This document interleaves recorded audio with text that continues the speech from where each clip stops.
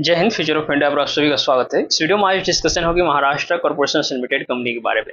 इस कंपनी के बारे में कई स्तर पर डिस्कशन करेंगे। जैसे कंपनी का जो शेयर प्राइस लगातार नीचे जा रहा है, इसको लेके तो बात होगी क्योंकि सबसे इंपॉर्टेंट चीज़ तो यही है।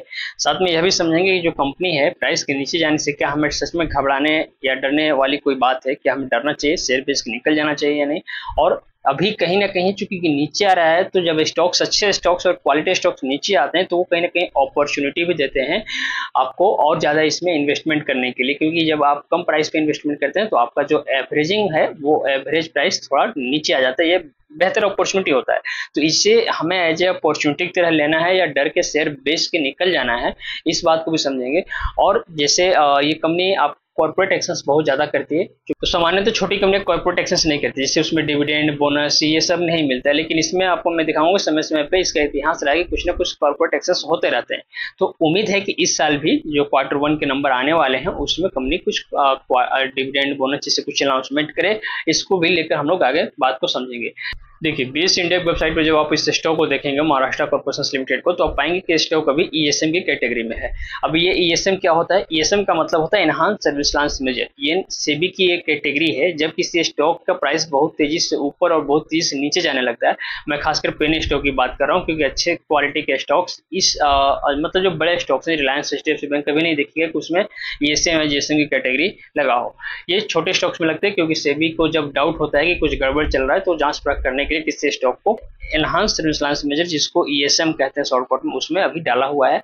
अब इसमें कोई स्टॉक आ जाता है ना तो क्या होता है मार्केट में एक नेगेटिव छवि बनती है। नेगेटिव छवि ये बनती है कि क्योंकि ये स्टॉक अभी किसमें है? ईएसएम e कैटेगरी में। तो लोग इसको गलत समझने लगते हैं और शेयर को बेच के निकलने लगते हैं। क्या होता है कि जब हाई वॉल्यूम आता है, किसी भी साइड मान लीजिए सेल के साइड यदि हाई वॉल्यूम हुआ तो प्राइस क्या होगा? तेज़ी से नीचे की तरफ़ जाएगा। और तो अभी क्या है कि सेलिंग के पक्ष में ये आपको तेज़ी देखने को मिल रही है। जो वॉल्यूम है देखने को मिल रहा है। तो इस वजह से यहाँ पे आप देखेंगे कि इस स्टॉक में लोअर सर्किट भी लग रहा है पिछले दो दिनों से हम देखें तो। तो ये लोअर सर्किट का दौर इस स्टॉक में ज़्यादा दिन तक नहीं चलने वाला है, क्योंकि लगभग इस कंपनी का शेयर प्राइस अपने सपोर्ट जोन पे आगे ठहरा हुआ है और यहाँ से प्राइस सपोर्ट पे ठहर के ऊपर जाएगा। तो चलिए इसको हम लोग चार्ट पे समझते हैं।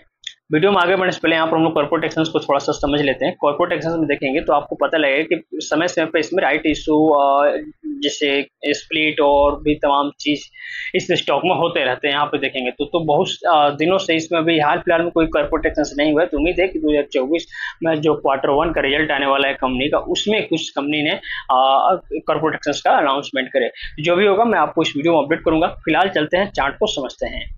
देखिए, अभी हम लोग एक साल के चार्ट पर आए हैं और एक साल के चार्ट पर आपको स्पष्ट दिखेगा कि प्राइस डाउन ट्रेंड में था, लेकिन अब डाउन ट्रेंड में नहीं है। अब प्राइस जो है एक रेंज बाउंड में अस्सी पैसा से लेकर एक रुपए के बीच में फंसा हुआ तो जब प्राइस अगर रेंज बाउंड होना तो बिल्कुल डरने और घबराना नहीं चाहिए क्योंकि जो गिरावट का दौर होता है वो खत्म हो चुका होता है तब जाके प्राइस कॉन्सोलिडेशन रेंज में आता है। और इसमें समय बिता के प्राइस जब निकलता है तो ऊपर की तरफ़ जाता है। ये पंचानवे परसेंट चांस होता है कि किसी भी कॉन्सोलिडेशन से कोई भी स्टॉक जब बाहर निकलता है तो उसका जो आ, मतलब मूवमेंट होता है ऊपर की साइड होता है। तो इससे बाहर निकलेगा क्योंकि कॉन्सोलिडेशन रेंज में काफ़ी समय से फंसा हुआ है। और ये समय आ गया बाहर निकलने का और कंपनियों का क्वार्टर वन के नंबर भी आने वाले हैं। तो क्वार्टर वन के नंबर आएँगे और उम्मीद है कि अच्छे ही आएँगे। तो इसके बाद क्या होगा? शेयर प्राइस ऊपर निकलेगा। ऊपर निकलेगा तो इजिली इस लेवल तक तो आएगा ही। ये जो लेवल एक रुपये साठ पैसा से लेकर एक रुपये अस्सी पैसा तक, और इसके बाद जब इसके भी ऊपर निकलेगा तो इसके डबल तक जाएगा। फ़िलहाल हम लोग मान के चलते हैं कि इससे पहले प्राइस बाहर निकले और निकल के इस लेवल में आए, एक रुपये साठ पैसा से लेकर एक रुपये अस्सी पैसा के बीच में। यहाँ तक इजिली आ जाएगा। और उसके बाद हम लोग आगे भी मैं आपको अपडेट करूँगा कि क्या करना है। मान लीजिए कोई नया व्यक्ति है जो इन्वेस्टमेंट करना चाहता है, वो जब यहाँ पे जब प्राइस ऊपर निकले इस लेवल के ऊपर तो यहाँ पे आप इन्वेस्टमेंट कर सकते हैं एक रुपए से ऊपर निकलने के बाद। और सीधे आपका टारगेट कम से कम डबल का होगा, दो रुपए तक का होगा। और जिसका अभी भी इन्वेस्टमेंट है, कोई जो किसी भी लेवल पर मान लीजिए बाई करके बैठे हुए मान लीजिए एकदम टॉप पे भी बाई करके बैठे हुए हैं, तब भी आपको घबराने वाली बात तब तक नहीं, जब तक कि प्राइस इस लेवल के नीचे नहीं आता, इसके नीचे आएगा भी नहीं, ये प्राइस इसके ऊपर ही जाएगा। तो आप अभी भी इसमें बने रहिए। बाकी यदि बात करें कंपनी के जो क्वार्टर्स के नंबर है तो कंपनी के जो क्वार्टर्स के नंबर हैं, देखेंगे कि मार्च क्वार्टर का रिज़ल्ट आया था, जिसमें थोड़ा सा कंपनी का कम सेल्स हुआ था, लेकिन जैसे मैंने बताया कंपनी का क्वार्टर वन के नंबर आने वाले हैं जून क्वार्टर रिज़ल्ट आएगा। उसमें आप देखिएगा कि जो कंपनी का सेल्स है, वो पिछले क्वार्टर के मुकाबले ज़बरदस्त तरीके से आपको बढ़ते हुए दिखेगा। तो जब सेल्स बढ़ेगा तो कंपनी फिर इस बार अच्छा प्रदर्शन करते हुए नज़र आएगी। कंपनी के जो शेयर प्राइस है, उसमें अच्छी खासी आपको तो ये ग्रोथ देखने को मिलेगा। यहाँ पे आप देखेंगे कंपनी के पास जो डेप्ट है, बिल्कुल भी डेप्ट नहीं यानी कि एकदम डेप्ट फ्री कंपनी है। तो यहाँ पे घबराने वाली कोई बात है नहीं।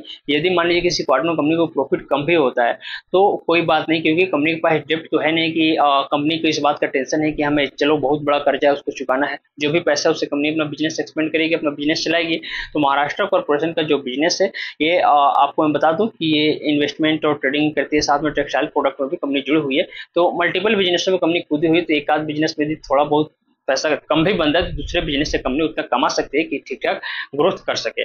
बाकी घबराने वाली कोई बात नहीं है फंडामेंटल भी ठीक ठाक है जिससे मैंने आपको बता ही दिया है आगे। और भी मैं अपडेट लेके आते रहूँगा इससे स्टॉक्स से रिलेटेड जो भी अपडेट होगा। मन में कोई सवाल है कमेंट में ज़रूर पूछिएगा। मिलते हैं अगले वीडियो में, तब तक के लिए धन्यवाद, शुक्रिया।